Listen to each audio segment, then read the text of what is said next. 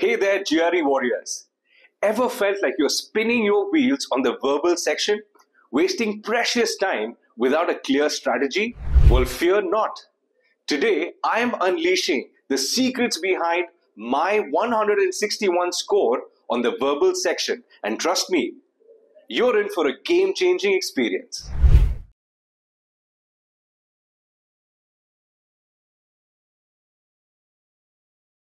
Section 1 Unveiling the Strategy. It doesn't matter how many vocab words you have memorized or how many practice tests you have aced. Without a bulletproof strategy, you're sailing in very stormy waters. So let's dive in into the blueprint and pave the path to a verbal victory. Skip and leap. But hold your horses. Not every question deserves your attention. Yes, you heard it right. If a question is chewing up your time and doesn't feel like a slam dunk, then just skip it. Trust me, it's a lifesaver. Power through. Now, on to the meaty stuff. Devour those short passages, conquer the long ones, but beware of critical reasoning. They're just time sinks. I skip them like a champ.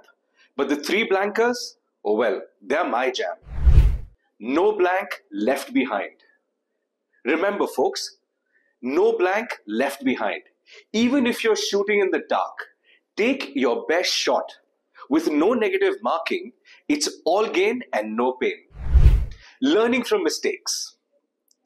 And hey, we've all stumbled sometimes. Dive in, learn, and grow stronger. Surround yourself with champions. Surrounding yourself with fellow warriors and champions on the same journey will help you weather the storm and conquer the GRE beast. And that's a wrap, folks. Smash that like button and hit subscribe. Unleash your inner GRE champion.